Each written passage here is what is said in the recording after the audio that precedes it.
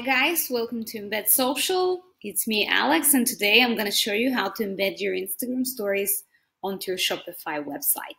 So let's get started. So uh, first thing you're going to do is log into your EmbedSocial account. And if you don't have one, you can just go ahead and start a free trial to test it out. Once you're in the platform, you can go to all stories and here you're going to have all the Instagram stories that you posted and the platform fetched.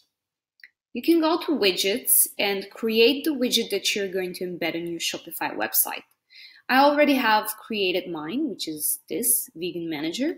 But um, in order for you to create a new one, if you do, if you already don't have one, you can just click here on create new choose the source of the Instagram stories. So basically, if you have here multiple Instagram pages that you that you fetch stories from, you can just choose the one that you that you want to embed on your website.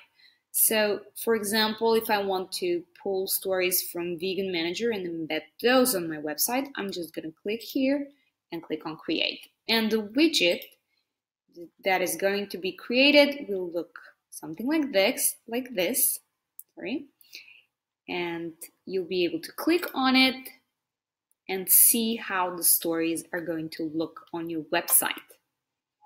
On the right side here, you will see multiple layout and design options, which allow you to change how the widget looks on your website, as well as multiple settings options, which you can also change according to your needs. Um, here you also have the code, the embeddable code that will allow you to, to put the stories on your website. So just copy this code here and go to your Shopify website. In Shopify, navigate to Pages. Now, you are probably going to have multiple pages here listed that you have already created. So you can just either choose an existing page or create a new one that will be solely for embedding the stories. So you can just go on add page here, give the page a name, and then embed the code like this. So I'm going to use this page here, Instagram stories. And in the content section here, you'll see this show HTML icon. Just click on it and paste the code that you copied from EmbedSocial.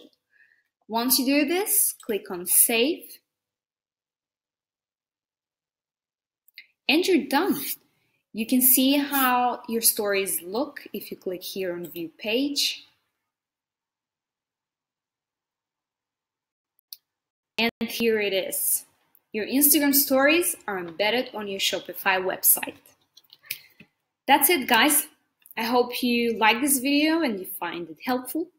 And if you have any other questions or you need any assistance at any point of this process, just drop us a line and we'll be happy to help you out.